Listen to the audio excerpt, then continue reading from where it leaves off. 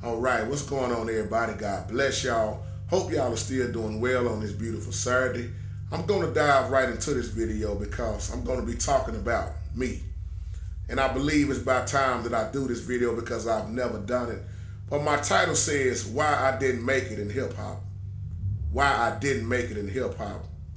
And y'all that know me, that really know me, know growing up especially that all I did was hang with rappers. I used to rap myself. You know, I wouldn't call myself no great rapper, but I didn't even need no pen. You know, I could just freestyle off the top of my head. And the reason why I want to do this video because some of y'all youngsters that look at me, I want y'all to really feel me in this video because a lot of y'all think it's about the fortune and the fame, the the cars, the clothes, you know, the the women. And that lifestyle can lead you straight to the grave or in prison very quick if you're not careful.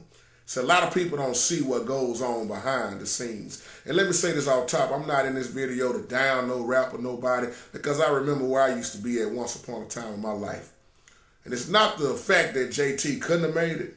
It's that once I really saw what went on, I didn't want no part of it. And then once God showed me what I really supposed to be doing in my life, I had a whole new outlook on my life. Yes, I used to rap nonsense, get drunk, you know, hang with certain people. Ain't that right, K Ray? We we consider and write a book about that and how in the hood, I'm pretty much well, it might have been a couple other people, but in the hood, I was the one that made all the rap beats. I was the one everybody was depending on to, to say, get us out of here, man. It's gonna be you to get us out of here as long as you make them beats, man, and and, and you know, keep that going and such and such. But don't forget about me, man, when you make it. How many of y'all ever heard that? And when you are the pretty much one of the only ones in the hood that can make the beats, you know you got a lot of pressure riding on you. And then a lot of people gonna get mad when you're not doing what they want you to do. And I found out the hard way by dealing with a lot of rappers, they ain't gonna be about nothing. You know why? Half of them are gonna be locked up.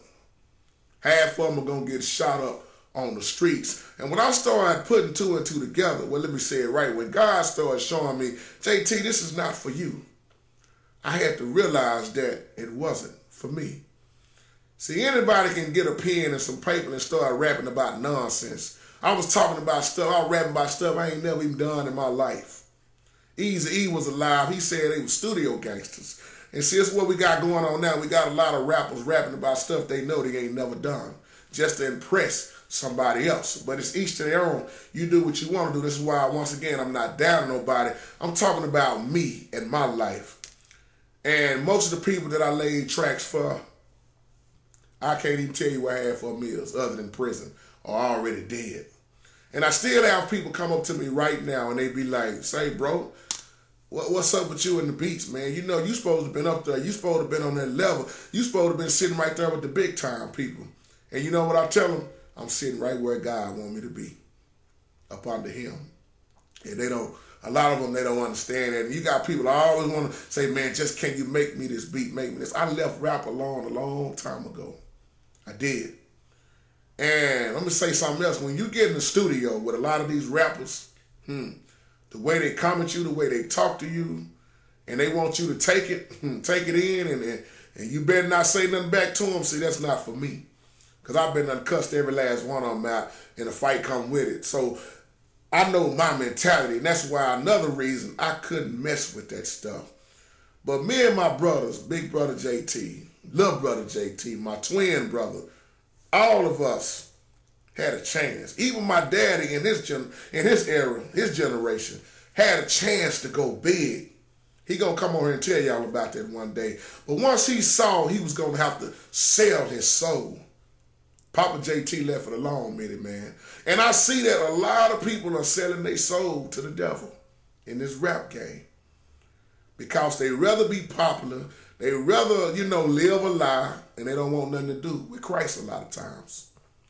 So like I say, then what I love now is I love, what I love about Facebook is that everybody that I grew up with, hmm, everybody that know me, even on YouTube, they see my face and they saying, what happened? Because they remember all the beating that I used to do, all making the tracks and rapping and cussing, all that stuff, you know, getting drunk, you know, hanging with this one, hanging with that one. And now they see that, what is he on, what does mean he on Facebook? He, he done got delivered. Now he's preaching the word of God. And I don't hide my face. I, see, when I did things bold for the word, I got to do, let me let me be bold for, for the Lord. Just like Sister Didi was just saying in her video, we do all this shouting and running around, speaking in tongues, but soon as the church door closes and you go home, your power is gone. P.P. Drawing said the same thing the other day. You scared, you ashamed of God. You don't want to recognize God. I don't have a problem. And see, everybody that I grew up with, all the gangsters, the thugs, the women, the, the, the ones who can't stand me, they see me spread God's word. So I'm glad that I didn't make it in the rap. Hmm. Because I ought to have my big brother do this type of video because the way we all got burned in so many ways. When you don't know the business, when you're young, when you're starting out, when people will rip you off, had to make your life per hell. Per hell. And I started realizing that what I wanted to do in life it didn't have nothing to do with God at first. See, church, can we talk about ourselves sometime? Can we tell folks why we didn't make it to certain places? Or can we tell folks what God has done for us? Because, real talk, if I had a problem and went out on that road and started hooking up with a lot of different rappers and, and producers and everything, I probably wouldn't even be close with God at all. I probably wouldn't even be here sitting here right now. I probably would have hopped in the car with the wrong person and probably be dead, shot up. Ain't no telling. But what God had for me, it is for me. I'm glad that I chose serving God. This is why when I see my brothers with their pants hanging down, with their grills in their mouth, and they, you know, degrading women and women love it because you. Uh, let me let me get all the way real in this video. See, this is not a Bible, King James. Let me let me let me let me get a little bit real with some of y'all. It's sad to see so many women steady shaking their tail. I'm gonna keep it clean. I ain't gonna curse. Shaking their tail to the same music, the lyrics that's calling them all kind of bitches and hoes. And they loving it. Some of these women, I just gotta be in the video. I gotta have my clothes off. Do you know what they're saying about you? But once again, I'm not down nobody. I'm speaking real. These fools walking around instead of calling you bitch and hoe, and you shaking your tail to it. God Almighty. See, something is wrong here. And I know I just made a lot of men mad with this because this is how they make their money. I'm not trying to knock your hustle. You your own man. You do what you do. I'm speaking what's real. So you ain't got to tell me about the rap game. I, have been in it too long. That's why I left it alone.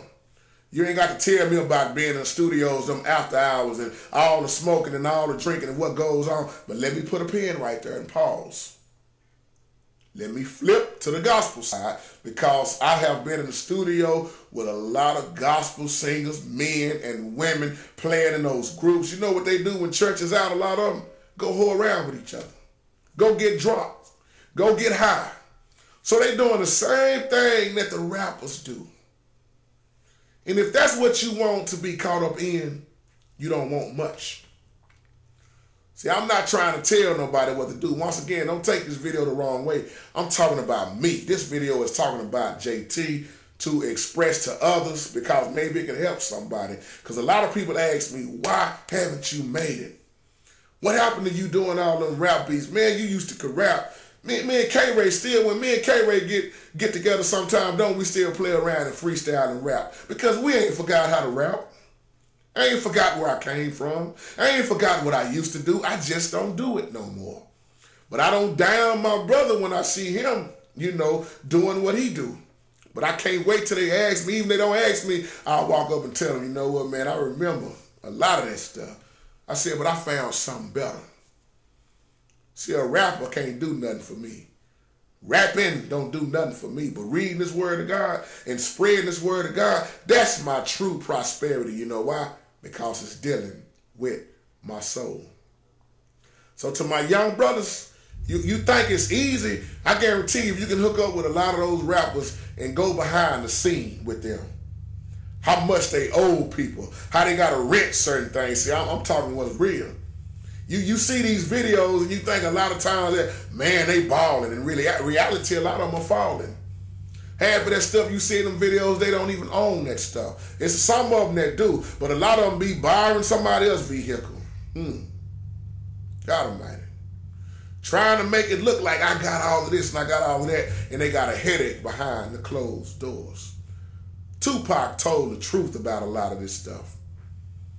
People are being sued, and, and, and the business, it's one of the most dirtiest business you can get into, ain't that right, big brother? My big brother looking at this video is one of the most dirtiest business you can ever be a part of. And let me be all the way real. Church can be one of the most dirtiest business you can be in. Because now we see how many people trying to get rich off of the word of God.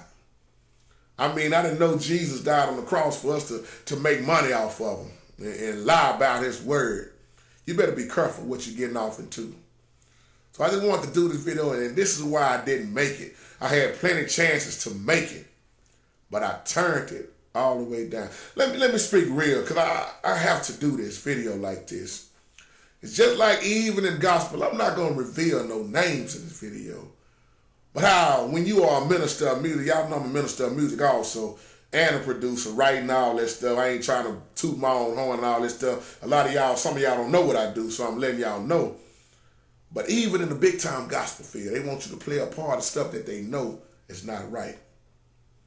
Just like a lot of groups I left alone because it wasn't nothing but homosexuals in it, sleeping around with each other. Hmm. Some of y'all know what I'm talking about. Women with women, and we call the next serving God. And God is not confusion. That's Satan. And we seem like we're going to let Satan just keep on overpowering, overpowering, overpowering. He ain't got no power over me.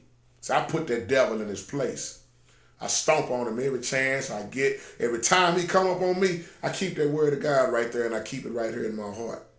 And then I use the wisdom that the Lord has blessed me with to fight this fight because I'm in this flesh, you in this flesh. It's nothing easy about living this life. And all that stuff look good because they getting that quick money. Oh, Dude asked me the other day, why it seem like when you when you in God, man, it take long for you to be blessed, but but when you when you doing stuff for the world, your your your blessings come right away. And I asked him, are those really blessings? Hmm. Because every time I look back around the ones that had that quick money, they back to being broke. They don't have no money. They don't have a peace of mind. They can't sleep at night. They toe up on the inside. They just raggedy. They don't even know what to do next. When I think about even even if I don't get all the stuff that I let me say it like this. I don't want to confuse nobody. If God don't do nothing else for me, He have already done more than enough. If I don't get no big mansion, which I ain't crying and complaining about no way, I can't miss what I never had. If I don't get no big mansion on this lifetime, don't you know when I leave this flesh that I already got a mansion promised to me? And check this out. I'm not have to go. I'm not gonna have to go in debt behind it. Oh, I'm about to shout hallelujah. I'm not gonna have to worry about no bills. Got to worry about the bill collectors calling me, wanting their money. I ain't gonna be in no kind of debt. I'm gonna be in a body that I can't even get sick in no more. See, let me go back to the real prosperity. Dealing with my soul. I don't know about y'all, but I want my eternal life. When I leave this, why would I want to come back to it? Let me go where it's all good at. Let me go be with the creator who created me, who I love so much. See, the rap game couldn't get me there. I used to try to drink problems away.